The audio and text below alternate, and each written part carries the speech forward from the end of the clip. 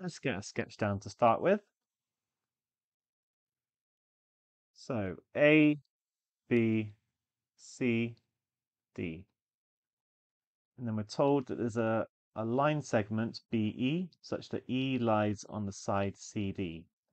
I don't know exactly where it's going to be, but I'm just going to stick it here. It's not going to matter. This is only a sketch. So now this point is going to be E.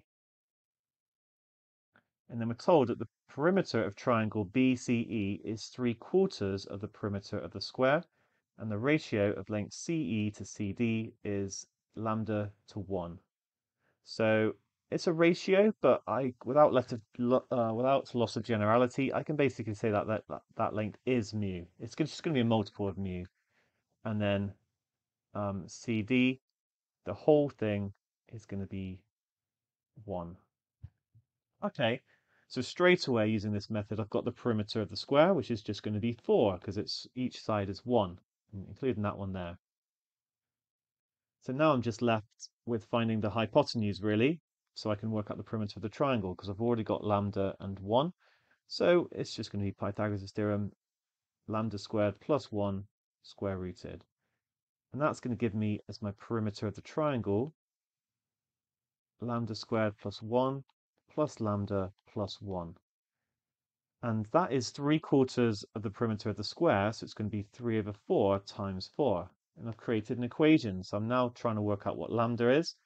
Well, I can cancel them out, so I've just got 3, and then I can, it's going to be lambda squared plus 1. I can minus the 1, and also I actually want to minus the lambda. The reason for this is that I want to, to get rid of that square root, I'm going to need to square.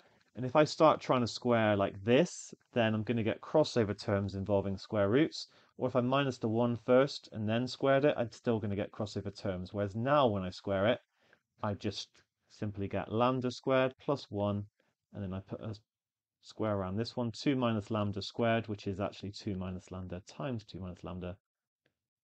So 4 minus 4 lambda plus lambda squared. Ah, this is great news because I don't even have a quadratic in lambda anymore. I can just rearrange it to give 4 lambda is going to equal 3. Um, and I could work out what lambda is. It's going to be 3 over 4, but I'm actually interested in 960. So I need to think, what do I times uh, 4 by to give 960? Get that, I can do actually do 4s into 960, 2 and 240. So 960 lambda is going to be 3 times 240, which is going to be 720. Neat question.